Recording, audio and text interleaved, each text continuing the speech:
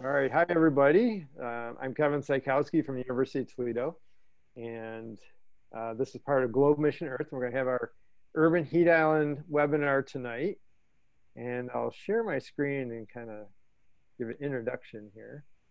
And even though we have a small crowd tonight, uh, we record them, and I know we get about 50 views on each of these recordings, which is pretty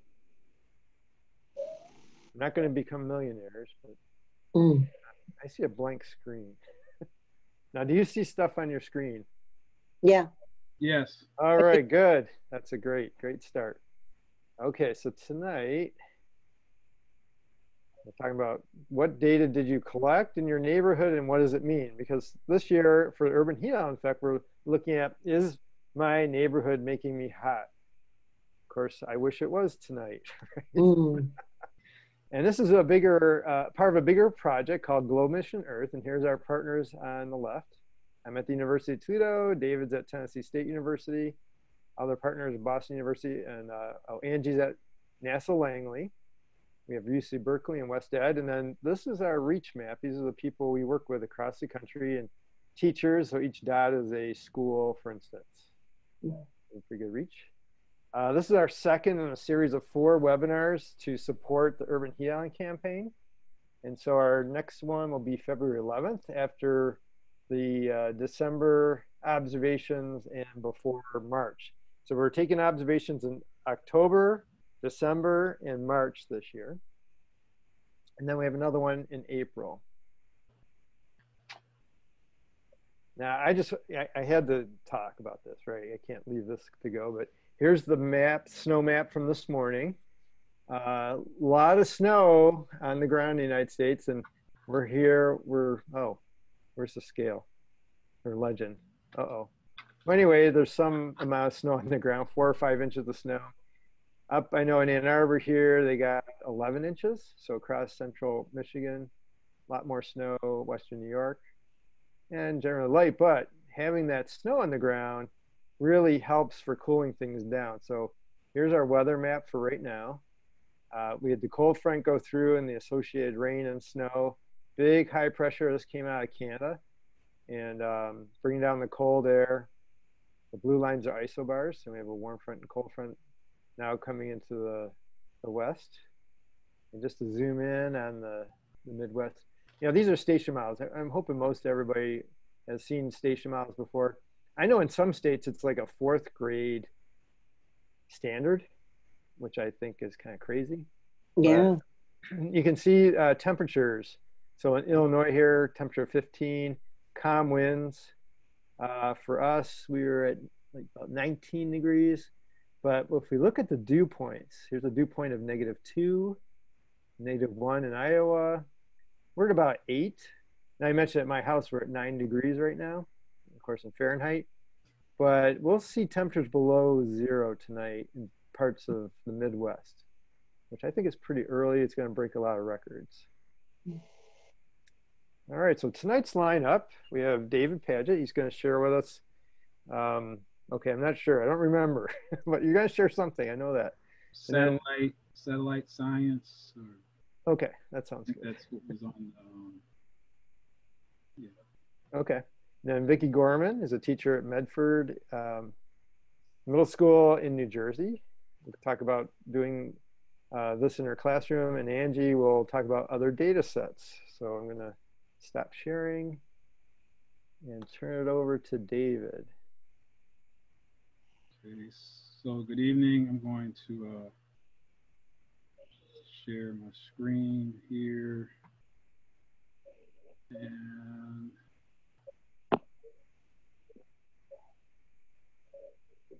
can everybody see that? Yeah. yeah so yep. oftentimes with, with the globe protocols, we can um, incorporate science lessons within them. And so teaching the uh, students about satellites, uh, oh yeah, Kevin, how much time do I have? You know, we're looking at about 10, 15 minutes for each person. Okay, okay, good, okay. Not a lot. So some teaching about the electromagnetic spectrum can be learning learning the electromagnetic spectrum can be somewhat of a, a daunting and abstract task, but uh, we deal with several wavelengths uh, in the globe atmosphere protocols that we can point out to students and show them actual real world applications of these uh, electromagnetic spectrum wavelengths so that they don't seem so far out and abstract in those squiggly lines that we see on this uh, diagram. So this is normally how we are introduced to the electromagnetic spectrum and, and wavelengths and gamma rays and x-rays. And I guess the most, you know, there's some familiar terms on the spectrum like microwaves. Um, most of the children or some of the children have heard of those, I guess, in uh, more highly developed countries at least. And then of course radio waves. But other than those wavelengths, well, what, what is this all about?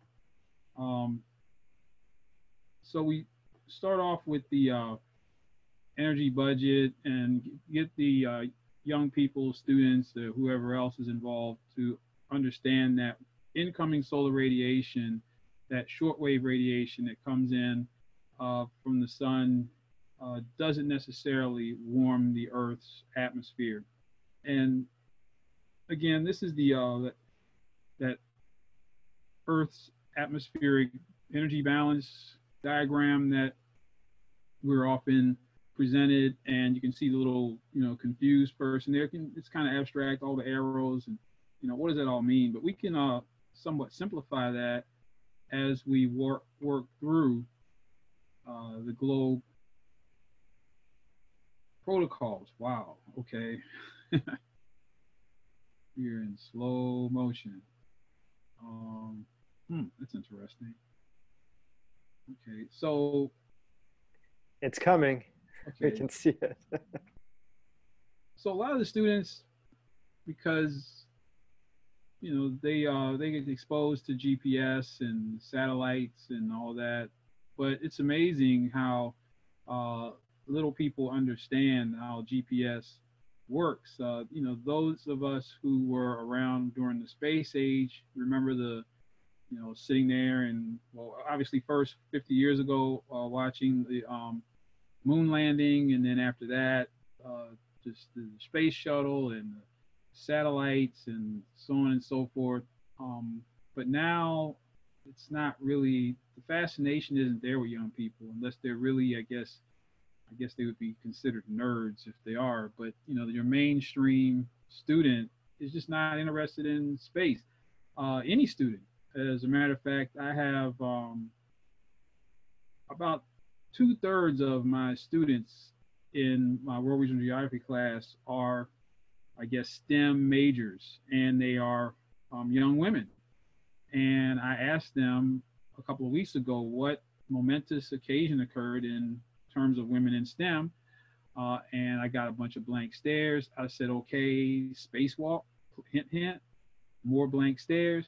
They had no idea uh, that there had been an all-woman spacewalk uh, just a couple of days before that. No idea. Um, and so a lot of our students really don't understand the whole concept of space and and satellites in the first place. Um, I remember a few years ago uh, when I guess there, there was like 98% of cell phones were maintained on one satellite and that satellite kind of out of orbit and no cell phones were working for about three hours and people thought it was the end of the world. And uh, people and then that same satellite i think managed about 60 some percent of the transactions done by by atms and and uh, gas stations. And so nobody could get gas and, and nobody could um, talk on the cell phone. They thought well well this is it. In the world not realizing it, it was just that satellites are involved in that much of our lives. I mean, a lot of people, um, but by looking at the um, various equipment we use in the uh, globe atmosphere protocol, you can see that the GPS receivers, uh, we can talk about um, radio waves coming from satellites and being captured by the GPS receivers. Uh, then, of course, the uh, infrared thermometers capture long wave infrared radiation uh, and then I, I like to use this, this particular uh, Garmin GPS 72, uh, which is an older model. It's been updated with the Garmin GPS 76 and 78, but they can still be purchased um, used from various vendors. Uh, but they have a nice big face, as you can see, and like nice large fonts. But the really good thing is that the the display shows the satellite geometry and also shows these which satellites are connecting uh, with the receiver. And so the student can really have an idea of where they are spatially relative to these satellites. And then we can talk about, you know, why you can't necessarily get an Uber easily in places like Atlanta or New York or Chicago. And because they don't see this on their mobile devices, they just see uh, everything else except for the technology that is behind uh, those Uber and, and Lyft um, platforms. So this, so we can talk about the satellites and where they are in geosynchronous orbits and all those types of things uh, by using these very simple GPS receivers. And of course, when we are outside, what in the world? when we're outside of we can talk about incoming solar radiation or ultraviolet radiation, UV waves that are emitted by the sun and come down on us when we're outside. Uh, and and a lot, a lot, of the students, uh, you know, how would they know that there's a difference between uh, incoming solar radiation and thermal radiation? Why, why would they ever know that? But that's, I guess that's why we're here, uh, to show them uh, what's happening and what's all around them, the, this radiation is all around them every day that affects them. Uh, and then I guess the most obvious wavelength on the electromagnetic spectrum that is um, related to satellites is uh, visible visible light wavelengths. And so then when we start to talk about satellites having different bands, uh, we might say a satellite is a, a infrared or false color or visible light. Uh, then it kind of starts to make a little bit more sense that, oh, so this satellite can see the thermal radiation, this other satellite perhaps can see visible light, and the thermal radiation obviously is not uh, visible to the naked eye. And so that's what these instruments do. They make those wavelengths visible that are not necessarily visible to us, uh, while our eyes can certainly see the visible light, wa- light wavelengths. We can't see those others, but these instruments can. And then we can talk about all the things that we can use those instruments for, uh, like like to detecting the onset of El Nino and and how everything associated with El Nino uh, can be uh, forecast into the future. Um, and we also can look at the onset of other uh, atmospheric and climate phenomena uh, based upon what these satellites can detect. And of course, when we um,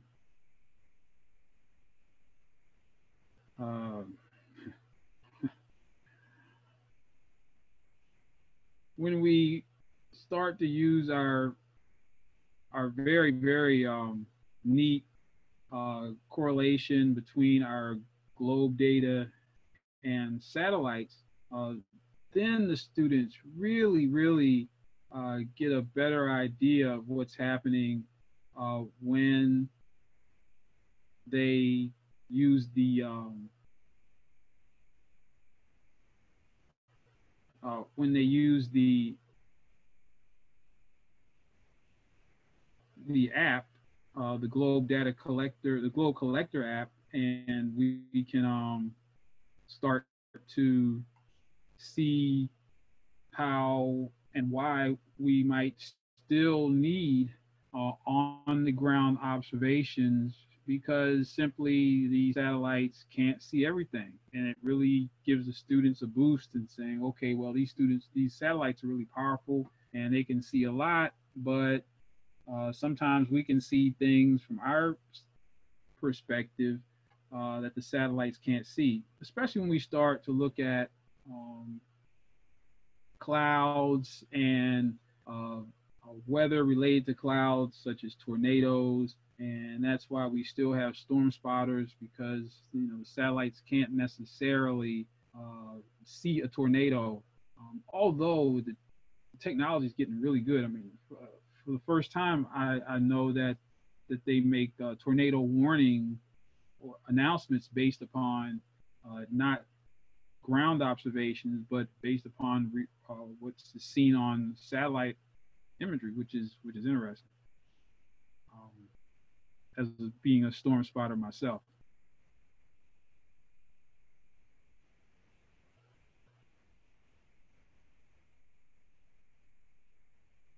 And so again, we start to use, my students start to use the Global Observer app, and then the question is, well, how accurate were, were our observations compared to what the satellites see? And, and this, this is, you know, of course, a really, really neat thing that these um, uh, globe observations with satellite comparisons come so quickly. Uh, you know, like literally within maybe 12 hours uh, or even the next day or at least by the next class period, uh, you can look at the ground observation here on the left and then look at what the satellite saw. So in this case, my students thought they saw cumulus clouds uh, and the satellite saw cumulus clouds, little disagreement over whether they were translucent or opaque. Uh, and then the satellite also saw some mid-level clouds. And it's really difficult, as you all know, to differentiate between those low-level and mid and mid-level clouds uh, until after you've had a few, um, a little bit of experience per se. But but this this really brings it all home when we can get a satellite match so quickly after the students have made an observation.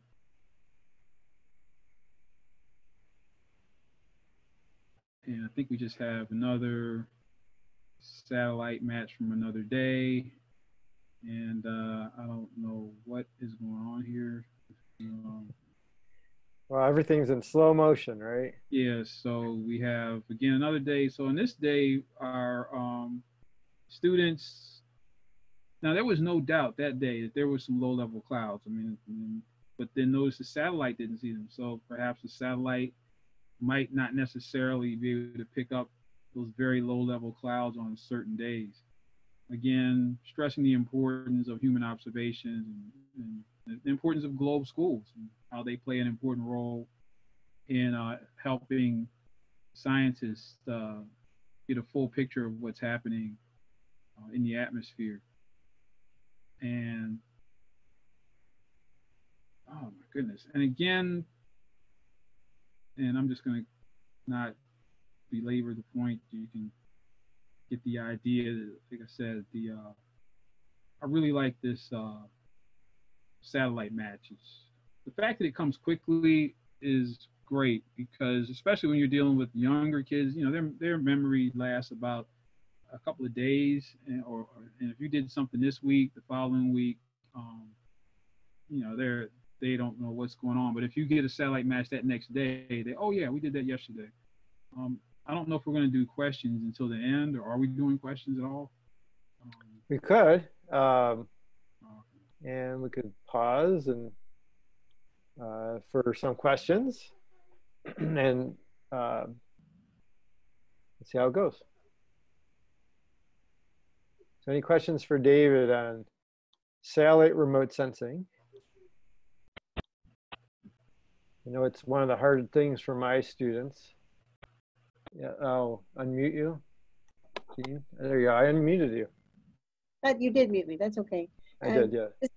Probably basic one, but I haven't been uh, using the system at all. So when you're talking about that global observation app, is that under the you know, you go to the Globe website, or is that something you download from the, um, st- you know, the App Store, or Oh, the Observer app. yeah? How do you access that? Yeah, we how to get the app. But yeah,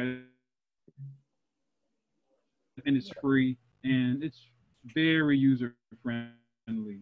Um, especially maybe not maybe not adult friendly, Right. but but the, the young people, no problem. So I would just go to the App Store and look up global. You know, taking the pictures. That's where they need a little help is with the photo. Photograph. I have to walk them through it, uh, maybe the first time, but using the app, they they, they use apps. all. Okay. Can I make a comment? Yeah, I don't sure. I don't have a question, but I think with those satellite matches and um, you know, them learning about this, it's also a really good point for them to develop, you know, some critical thinking and skepticism and not just Yeah. Because they tend to assume that, oh, well, if NASA said it, it must be right, you know. The idea that the satellite maybe could miss something is a foreign idea to a lot of young students.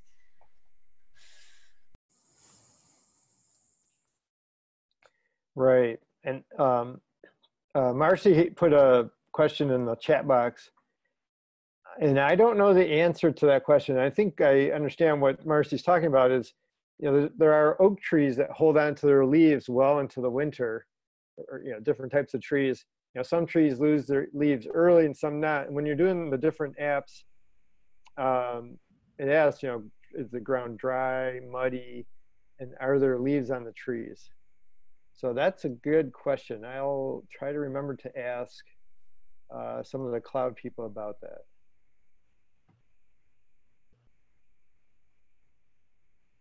I can ask Marilé about that tomorrow. Oh, that'd be great. Okay, so um, let's uh, move on to Vicky and have Vicky talk about what she does. So Dave, you have to unshare. There you go. All right, Vicky, Okay. I'll turn it over to you. Yep. Can you guys hear me? Mhm. Yes. Good. I just got done with another hour and a half webinar and I thought, watch that I can't. Whoops.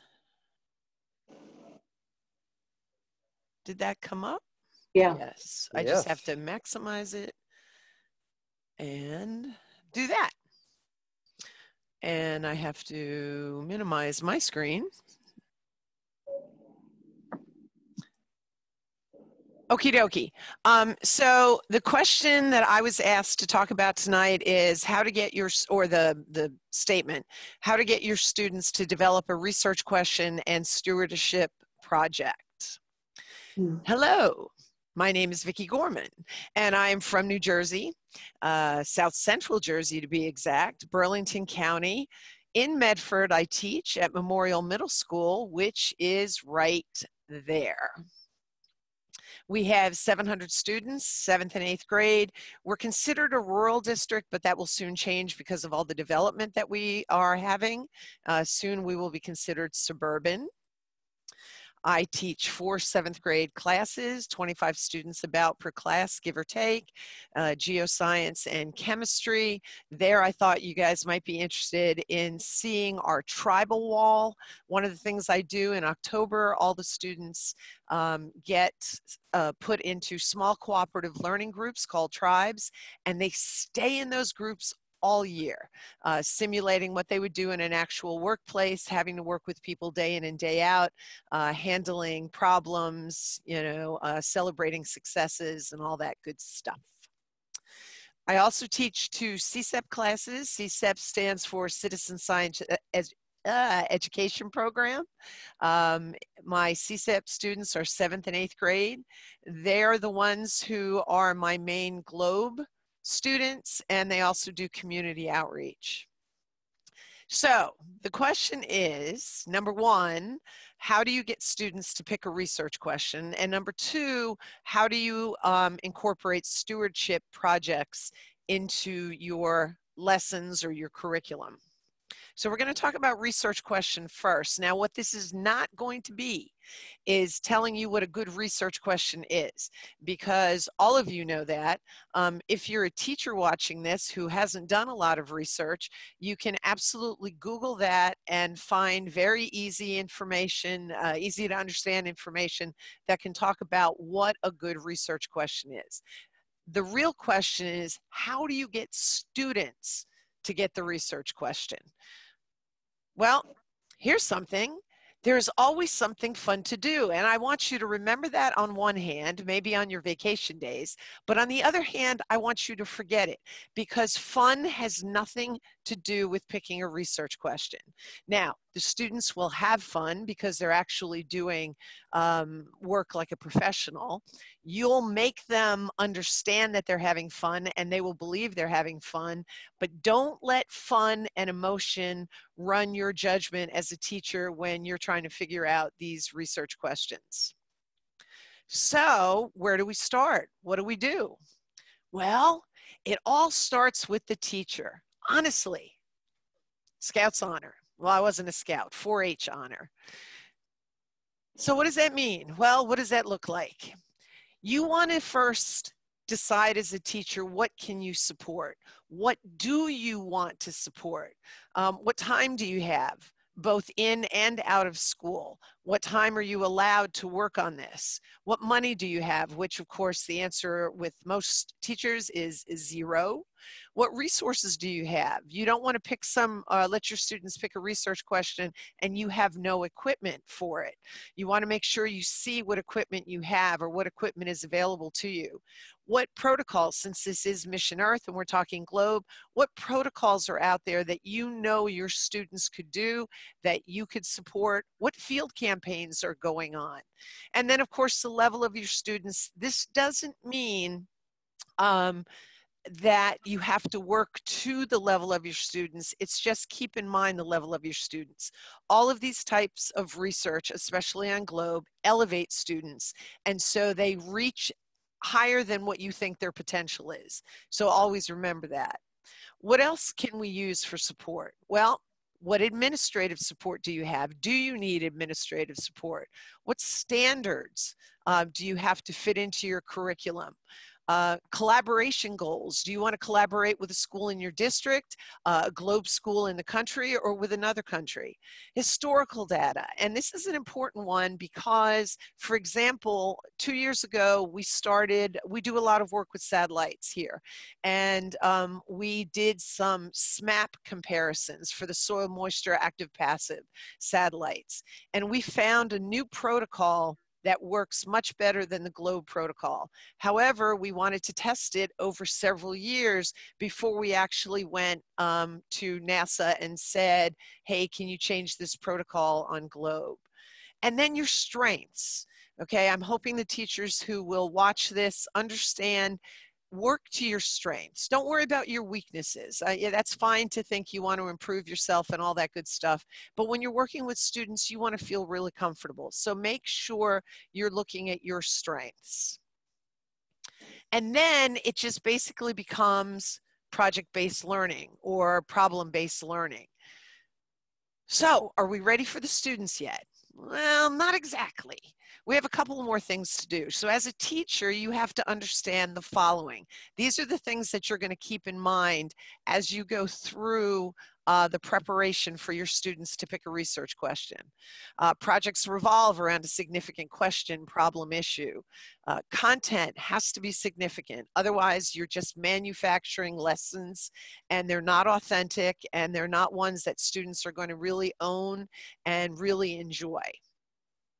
Students have to be able to take control of their learning and develop self-direction skills. So here the problem is if you make it too difficult, if you allow them to pick a research question that's going to frustrate them or turn them off within the first week or two of research, you've now destroyed what could be an absolutely wonderful experience for your kids. Collaboration should be included, at least with peers and professionals in the field, community members, uh, in person and online. You know, contact uh, somebody through Globe, through NASA, through NOAA. Uh, scientists or more, engineers are more than willing to Skype with students or to have a Zoom meeting. Make sure your timeline allows for adequate reflection and revision. I find in teaching in general, this is the toughest thing. Teachers forget to make sure they have adequate reflection and revision, whether it be peer revision, uh, self-reflection, teacher revision, or something outside of your classroom. And then, of course, the knowledge has to be shared that your students gain in research. So if they're going to a SRS, Student Research Symposium, or the they're going to participate in the IVSS, the International Virtual Science Symposium. Maybe they're going to the annual meeting. But if they can't go to any of those things or do those things, find an authentic audience where you are, whether it's the Board of Education, whether it's at a faculty meeting, whether it's um, your uh, township people, uh, whether it's an organization, whatever the case may be, make sure you find that authentic audience. So, yes, I know we must be ready for students now. Oh, crap. We're not. Sorry for saying that. We want to now that's all the things you had to think about as a teacher these are the things now you have to do. And this seems like an awful lot but when you get used to doing it it really isn't. And it's so worth it. You'll want to do it for almost everything you teach. You want to lay the groundwork with scientific vocabulary not necessarily content vocabulary but the science and engineering practices. So you want to talk about variables. You want to talk about a hypothesis um, eh, the engineering design process familiarize students with basic skills. So I'm going to say this really quickly. I put that remind in there uh, so that to tell you about the 81 millimeter mortar and adjusting artillery fire. Uh, I went to school on a four-year ROTC scholarship. I was going to become a doctor, or so I, you know, that's what I thought. And uh, between my junior and senior year, I went to Fort Bragg, North Carolina, as a cadet, ROTC cadet, and we started doing artillery work. I, I actually fired the 81 millimeter mortar. I adjusted artillery fire so that we wouldn't get fired on by live rounds, but that we would hit our target. So why am I telling you this? Because I became an artillery officer because I had the opportunity to work with these things ahead of time. So let your students work with the rain gauges. Let your students work with um, getting soil moisture, using the Calitoo for aerosols, all those sorts of things because all of a sudden your students will be like, wow, this is really cool. Not only do I feel like a scientist, but this is something that I really, really enjoy elevate the overall assignment to create a buzz. Real, you know, okay, you guys, in 10 days, we're going to be talking about our research project. Oh no, it's day number nine. Tomorrow, we're going to talk about it. Really create a buzz so that your kids are all excited about that. Have a keynote speaker to officially open up research season. That speaks for itself. Establish a theme if you want to. I usually try to establish a theme just because it's easier for us to do um, community outreach. Uh, we did the water cycle one year and we, we introduced clouds, soil moisture. We did rain with the Global Precipitation Measurement Mission, the satellite mission. Finally, teach students about the three basic types of research questions. There they are. I'm not going to go through them tonight. Once again, you can Google them. Most people know what they are. If you're a science teacher or a science uh, scientist, uh, but certainly have your students understand there are different ones. So now, are we ready for students? Yes, yay, we're ready for students. So what do you do? Well, you start to brainstorm and you want to make sure that when you brainstorm, it's um, organized chaos and that it um, your students are able to call out things and you teach them how not to talk over each other. You start to realize who's interested in what. You take into consideration the demographics of your student population. Think about season appropriate. You know, sorry, that's in the winter. What could you do in the summer or vice versa? Current events. Have your students do a current events project to see what's going on in the world. Talk to parents and community elders, especially if you've got a tribal community. Think out of the box. It doesn't have to be a science research project, it could be an engineering project. And through all of this, you will then either know how to group your students, or if you've already grouped your students, you will kind of get a feel for what sort of project they might be interested in. But they're the ones who are brainstorming this. They're the ones who are going, you know, you throw out, well, what about the atmosphere? Because you know you have all the tools for the atmosphere. What could we study? Um, water. And you kind of guide them along so they start to develop their own ideas, but you've actually planted those ideas in their heads. Okay, then you have the big reveal.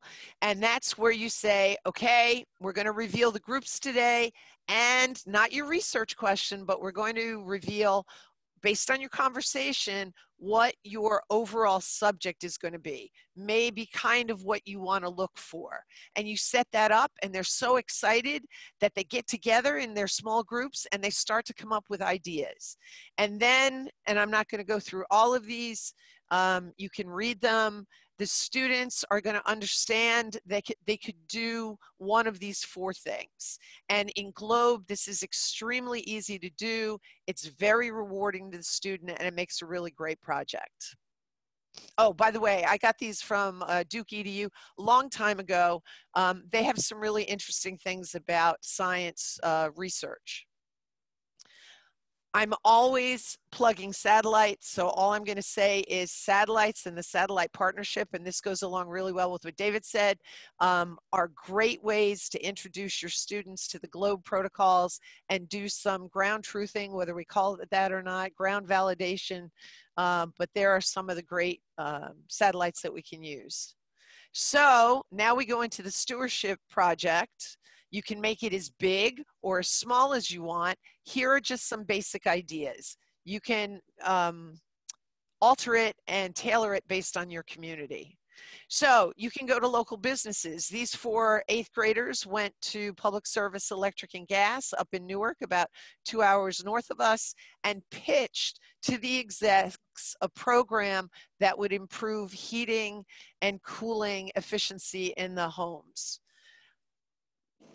state and national organizations. Here we worked with the United Soybean Board. And for those of you out there who want to do something with um, sustainable or even do something with, let's say, aerosols, that sort of thing, the United Soybean Board is a wonderful organization with which to work industry through the United Soybean Board and a company in North Carolina, we actually did um, research on bio-based blacktop sealers and we're able, um, the company came up, showed the kids how to do this, and then they went ahead and measured it. We measured it. This would be great for urban um, heat island effect to see if the blacktop sealers have any effect on the, the temperature in places where there's a ton of asphalt. Community outreach is another way to bring an authentic audience to what you do we in CSEP have to do a community outreach program. Um, we at first just went to individual um, places like McGuire Air Force Base. We had a troop of Boy Scouts come in, um, come in, and we talked to them to help them get their weather badge. Here we did the Medford Science Summit. For three years, we had a summit at our school the students picked topics that they thought would be applicable to our community. Um, they also made scientific posters. Uh, these are over several years that you're seeing. Here's a setup. We had not only posters, but we also had interactive stations strictly to improve the scientific literacy of the community. Everybody can do that. Now we work with our county at our county Earth Fair and we probably see anywhere from three to 500 people once a year, and we educate them again on science to improve their scientific literacy. Um, we have stations set up over here, and on the right side, you see students actually giving a presentation. Get involved with science organizations. We have three middle school students uh, uh, that will be presenting at the American Meteorological Society meeting um, because we, we got involved with uh, satellites, the GOES-R satellite, and also I'm a member of AMS, but it's the first time that middle schoolers will be presenting at an AMS meeting. So just as a recap, the teacher drives the train, seamlessly guides the students towards the light, gives students the tools they need to be successful, includes students in the exciting brainstorming phase, reveals the groups and basic areas of interest, super important, helps teams finalize the research question, supports the research, and the teacher is helpful in uncovering opportunities for stewardship projects and presenting to an authentic audience. So that's it. I know it was fast and furious, uh, but it at least gives you things to think about and a good way that you can have students produce a research question in class and then take what they figure out to an authentic audience. Uh, please feel free to visit uh, email me with any questions or visit our website, csepcentral.org, to see the type of website that the students have put together and are still working on. And that's it. That was amazing, Vicki. Good. Yeah, I'm sorry. I never know how long I take. I'm sorry if I took a little too long. Oh, I, I think it was worthwhile. Uh, and of course, Vicki is very uh, modest. The CSEP is a program that her students started, and she wants to get other schools involved in the program so as they can work together and share. So if you are interested in being uh, a member of CSEP, uh, please contact her or you can contact me or Janet. Or, you know, we can get you in contact with, with Vicki to start you on the, on the way. All right, uh, any questions for Vicky? What questions do we have?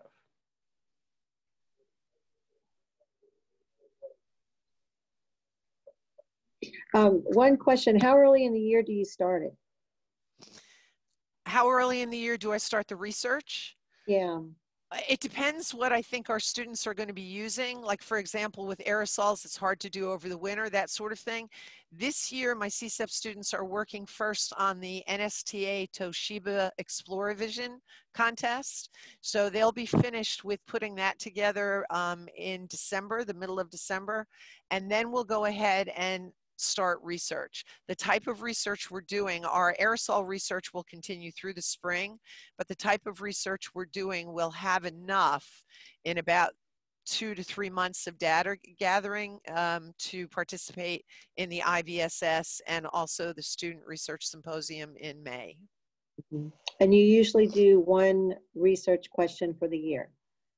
I do, I usually think of one theme, but I have six teams. I have about, I usually have between 18 and 22 students in CSEP, and they're usually divided into six teams. So we will have six different research questions. And, um, but I try to keep them all tied in so that they can collaborate with one another and they can see cause and effect in some of the things they're doing with um, what other students are researching as well. That sounds great.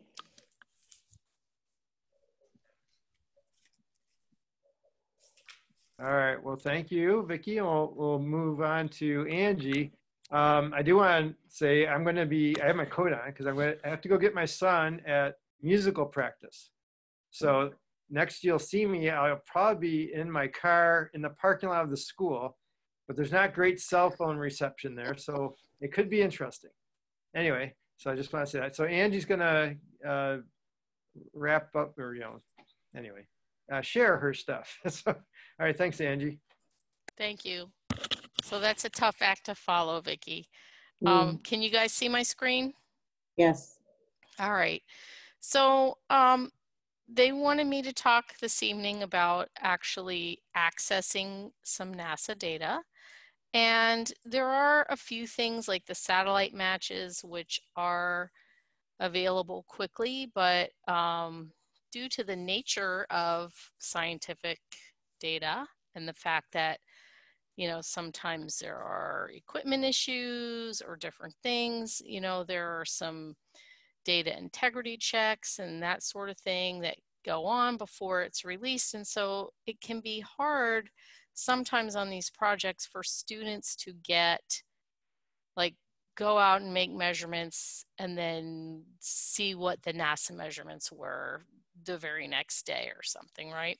So what mm-hmm. I decided to focus on this evening was more of a focus on historical data because when the kids are doing that research on their projects and they're just trying to get context and background information and find out sort of what the norms are, that can all be very useful and helpful.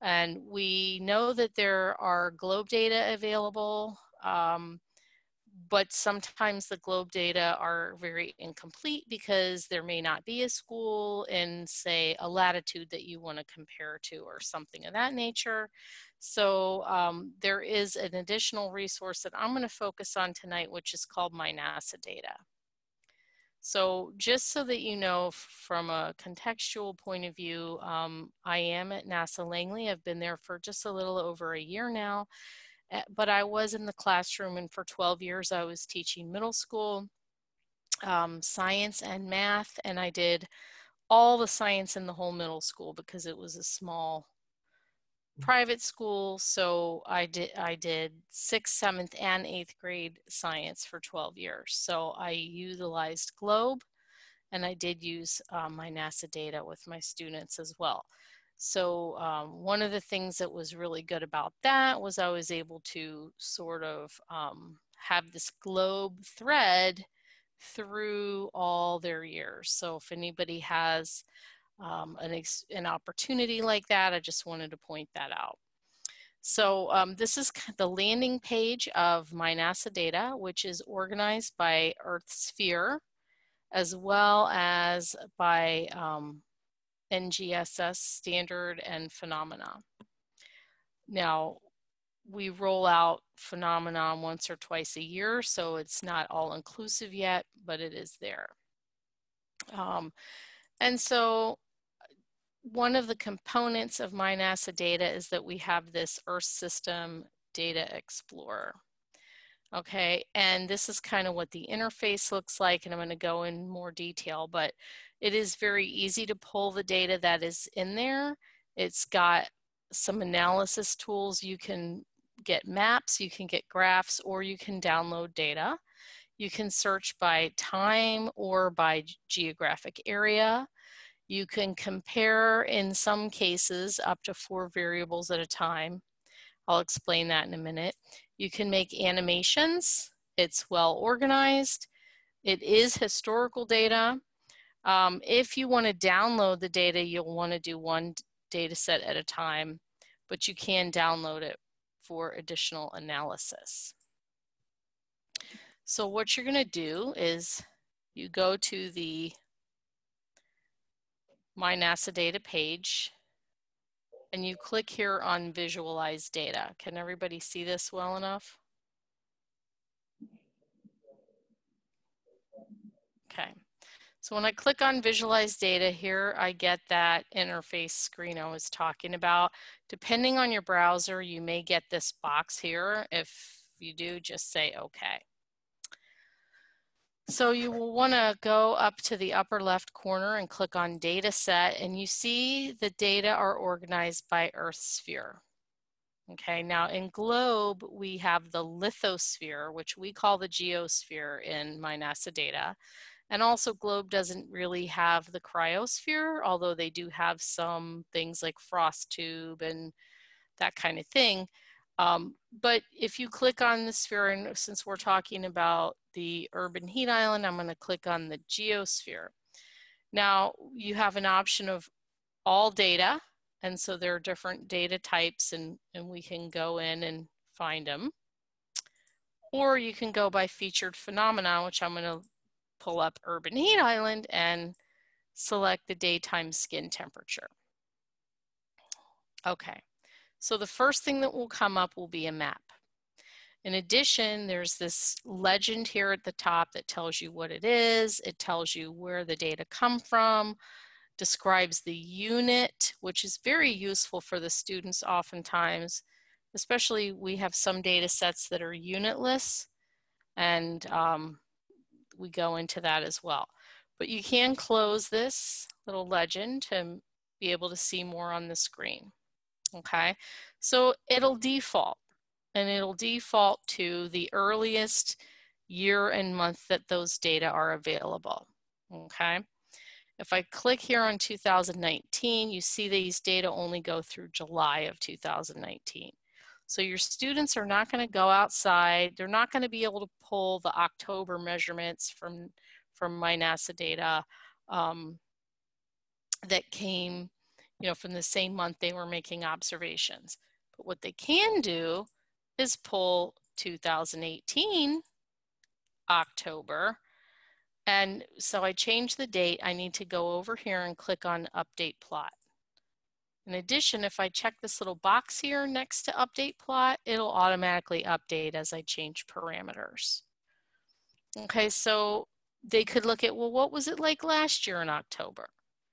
Um, some of these data are monthly averages, which these are because they're only giving us a month. Some are not. So that's another thing too. They can look at how did our daily measurements compare to a monthly average? Do, do our daily measurements average out to that monthly average? You know, these are some kinds of things they can do and ways that they can incorporate this. Also, if you don't want to look at the whole world, you can click on this box here uh, well, let's start. You can click on the box and you can select an area and it zooms in for you. Okay. Um, you can select some predefined areas as well, but sometimes students are like North America, but sometimes students are interested in a smaller area than that. Okay, so uh, let me reset it. Sorry. Okay, so here we go. We have an area. Um, now, in addition, so I changed my date. Over here where it says one plot on the left-hand side, I can compare two or four. So I'm gonna choose to select compare two. And so now I have two here. So I could look at 2000 18 January and compare that to 2018 October and we see some differences, right? I'll go back to October. I can also, uh, you saw that under the phenomenon, there were two data sets, okay? So if they're within that same phenomenon, I can compare the two data, the data sets. That's why I said it could be up to four. So now I'm looking at the daytime compared to the nighttime for the same month. Okay, and your students can do that. So that's really helpful. Um, you can you can do up to four panes. If you know, you could do like one per season. It just you know, there's lots of different ways. Now I'm going to go back to one because for um, downloading data, it is easier if we're looking at just one. So I'm going to show you how to download a picture now, which would be to click on print. It comes up and then you just right click, you say print and you print it to a PDF. Okay. That is how we use that on our come on, I have all these little Zoom windows in my way here. Um, the other thing I can do is I can do a line plot. Okay, and I would print these the same way. When you click on the time plot, it it's going to down, it'll default, like it just picked a location in that circle. So you can see the lat long here. It's not that far from from Toledo. It's, Toledo I had was 41.6 north and 83.6 west. So it's this is in that circle. I can change the time frame, let's say from to do five years. They can certainly see a pattern there. And you can print these the same way, but you can also download the data, which I click on Save As. This screen comes up. I will, I always select CSV. If you can accommodate NetCDF, that would be great. You can specify your time parameters here. And it, it comes up like this and you have to right click on it and then save it again on your computer. So um, the last thing I wanted to show you, if I go back into the map, is this option up here to animate. So if I click on animate, I never change anything here. I just say okay. And let's look at five years worth and submit it.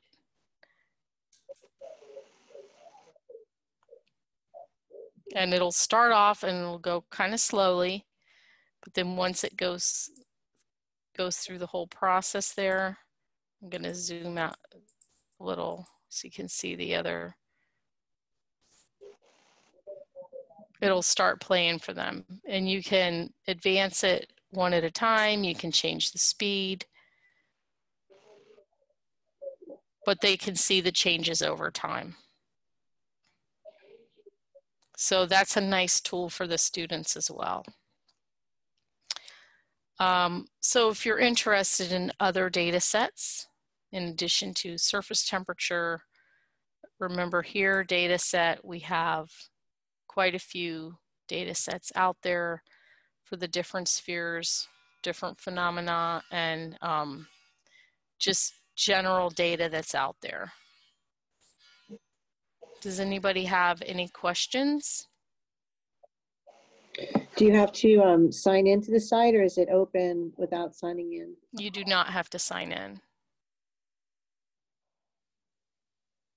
Now, that being said, there's also not really a way to save your work. So if, you know, they have a graph or something they really like and they they want those data, they they need to save those images or download the data. And once you download the data, it's a comma delimited file. They'll need to upload it into Excel or um, Sheets or some tool that can use that and um, work with those data. Sometimes with, especially my sixth graders, I would get data for them and um, just get it into a spreadsheet for them and then let them work with it. Just depended on what their skills were with the software.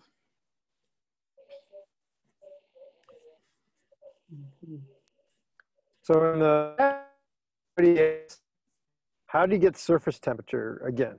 Yeah, I mean, should I, I- like to Sure. how to do it again? I went into data set and then under geosphere. So let me turn it off and go back through it. Um, you want me to zoom? Let me make it a little bit bigger. Here, uh, geosphere. And then I went under the featured phenomenon of urban heat island and I clicked on daytime skin temperature. But again, you could do day or night. So we have other data sets like in atmosphere. We have things like um, long and short wave radiation at the surface. So these data can be kind of interesting. We have net atmospheric radiation with and without clouds, which can be interesting.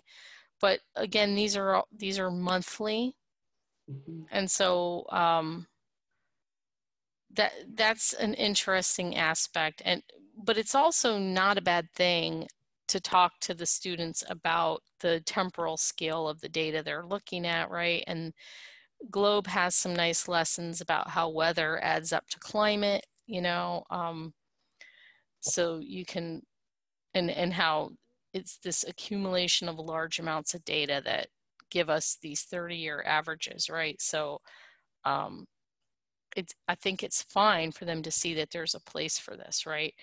And what place do their individual measurements potentially have in a big picture? So I think I cut out for a second, but um, Marcy was asking, are there ice cover on the Great Lakes? Data. Uh, in this picture here, No, no, no, in general. I don't. Do we have? Are you asking if we have ice cover data, I think, Or yeah, I is think she- that's what she's asking. or is she asking like right now because it's we're in a cold spell? Are we having? I mean, Well, Um, I, I think Marcy, I can help you. I don't know if you know where um, there is historical data. I should be able to you to. I So mean, I'll try to remember that time. the home. cryosphere data that we have are monthly snow and ice percent coverage, this glacier area, and sea ice extent. So, I mean, we can see what's on the monthly snow and ice cover. Let's see. The Great Lakes. Uh, why are you?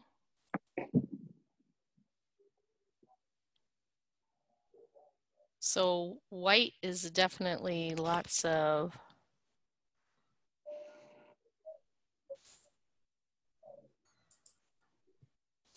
possibly. Here we go. Um, we're looking at March. So you have a time for me to check?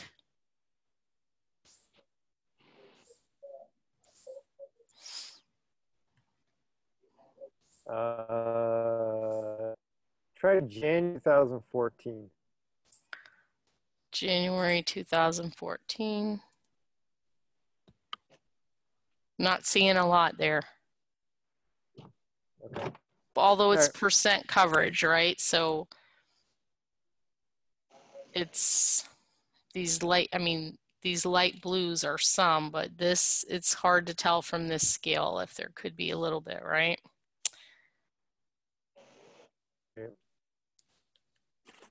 Okay. Which again, Alright, could be one of those perspective questions, right? On the ground perspective versus satellite perspective.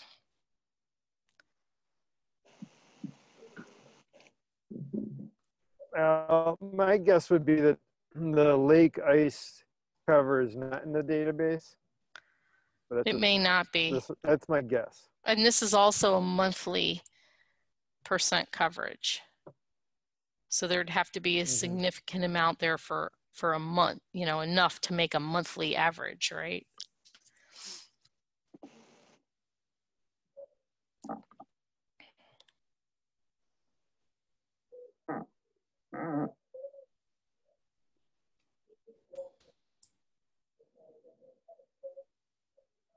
I'm gonna stop my share now.